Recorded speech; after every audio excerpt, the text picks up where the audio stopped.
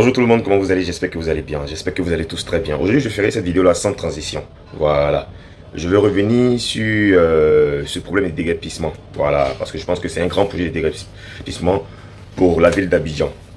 En fait, je réitère encore mes propos. Je ne dis pas que déguerpir des zones à risque ou bien euh, des quartiers vraiment à risque, c'est mauvais de la part de l'État, mais je ne comprends pas. J'ai l'impression que dans le projet de l'État, c'est seulement Abidjan qui les intéresse. Parce que je ne comprends pas. Il y a tellement de villes en Côte d'Ivoire. Il y a un truc que vous devez comprendre. Voilà, je parle de l'État et je parle des supporters de l'État, des gens qui justifient tout ce que l'État fait. Je ne suis pas contre l'État, mais moi j'essaie de me mettre du côté du plus faible. Et le plus faible actuellement, ce sont ces familles démunies là. Ces familles qui n'ont vraiment pas de quoi vivre, qui vivent avec les moyens de bord, qui n'ont pas de revenus stables. Vous savez, tant que on va pas désenclaver Abidjan. On va pas se concentrer un peu sur les villes de l'intérieur pour créer des infrastructures, pour créer des projets, euh, projets de, logements sociaux à l'intérieur du pays, pour rendre attractifs les villes de l'intérieur. Ça sera toujours la même chose. Ce problème va toujours demeurer en fait. Parce que moi j'ai l'impression que la Côte d'Ivoire se résume à Abidjan. Voilà. Et ce qui me fait mal dans l'histoire des, déguerpissements, c'est que souvent on déguerpit des lieux 5, 6, 7 ans après. Il n'y a aucune œuvre sur le lieu déguerpi. Je prends l'exemple de 9 kilos. Rivière 9 kilos. Il y avait un quartier. Il y avait un quartier. Il paraît même que c'était un, ancien village qui s'est transformé, au fur et à mesure en quartier en baraque. Voilà, un peu comme Boribana. Là. Je crois qu'on les a délogés, ça fait plus de 6 ou 7 ans maintenant. Mais jusque-là, il n'y a pas eu une brique sur le lieu des. Et ça, franchement, je ne trouve pas ça gentil de la part de l'État. Parce que le truc, c'est quoi? C'est pas mauvais, c'est pas mauvais. Des guépis, des coins qui sont un peu bizarres, qui rendent pas joli l'image d'Abidjan et tout, c'est pas mauvais. Mais moi, je pense que la solution, c'est de trouver des projets, c'est de trouver, euh, d'installer des, usines euh, de production, d'unités de production, c'est de rendre attractifs les villes de l'intérieur. Vous verrez que on fera même pas attention à quelques à ces quelques quartiers là qui sont encore des bidonvilles ou euh, des quartiers précaires comme on les appelle. Parce que à vrai dire, si on doit casser tous ces quartiers précaires-là, je pense qu'une bonne partie d'Abobo ne va pas exister. Une bonne partie d'Atekoubé ne va pas exister. Parce qu'il ne faut pas casser seulement des endroits et laisser d'autres endroits. Il faut casser tout.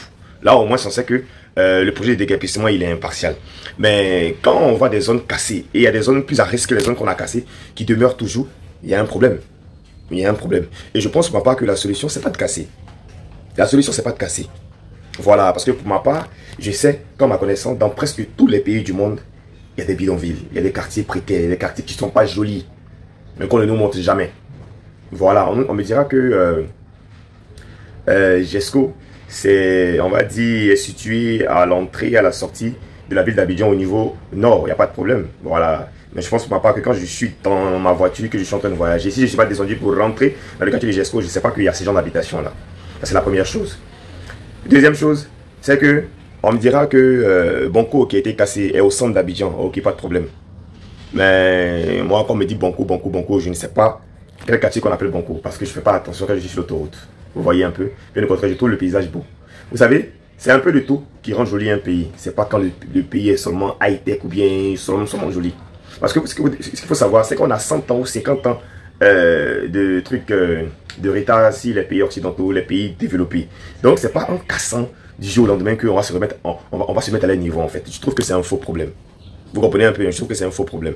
Le vrai problème là, c'est d'installer des usines de production, des entreprises de production pour créer de la richesse, pour créer du travail, pour les jeunes qui se déplacent en masse pour venir vers Abidjan. Je pense que c'est ça la solution. Sinon, vous allez beau casser.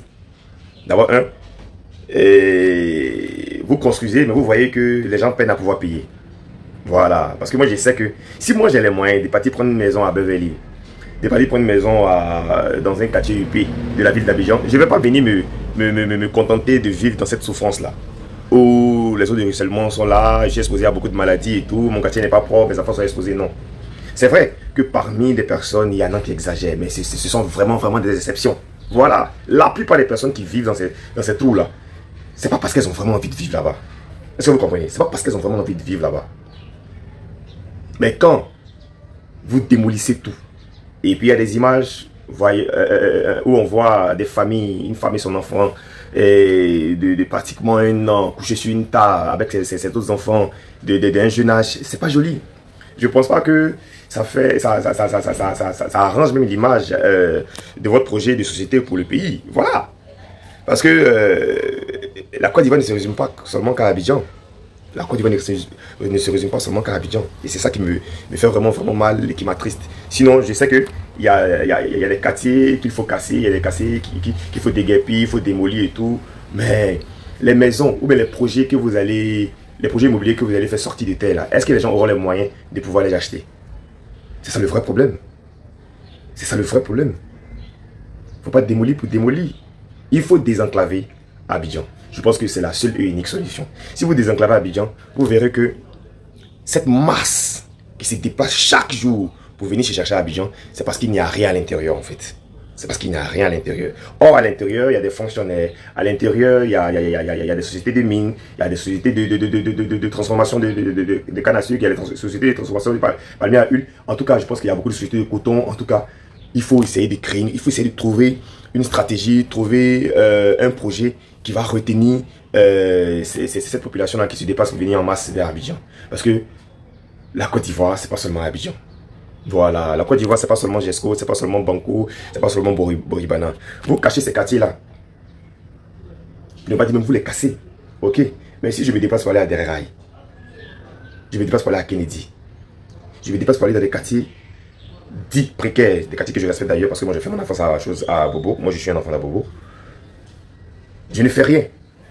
Je ne fais rien. Voilà. Je comprends un peu l'initiative de l'État à vouloir assainir Abidjan. Mais il n'y a pas qu'à Abidjan Côte d'Ivoire.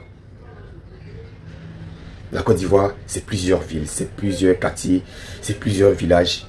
Il faut trouver des solutions pour l'intérieur. L'intérieur, c'est pas seulement le bitume. C'est pas seulement les bitumes. Non, non, non.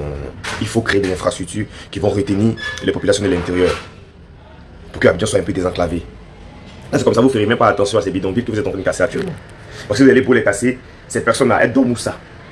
Vous dites que vous les avez dédommagées, mais elles sont où ça? Vous avez décidé de les, mettre où en attendant? Ces écoles cassées, les élèves font, comment? Voilà. Parce que vous me direz que les propriétaires d'école n'ont pas eu la sagesse de, de, prévenir à les parents d'élèves pour, qu'ils changent euh, d'établissement ou bien pour qu'ils se délocalisent. Mais ça, c'est pas la faute aux parents d'élèves. Voilà, ce n'est pas la faute aux parents d'élèves. Les parents d'élèves se disent qu'ils ont le droit d'inscrire leurs enfants, ils ont le droit à ce que les enfants présentent les différents examens et concours. Donc s'il y a des personnes à réprimander, ce sont euh, ces propriétaires d'école-là, pas ces parents. Or, quand vous cassez directement ces écoles-là, ceux qui sont impartis sont les enfants et les parents d'élèves. Et ça, franchement, c'est ce qui fait mal.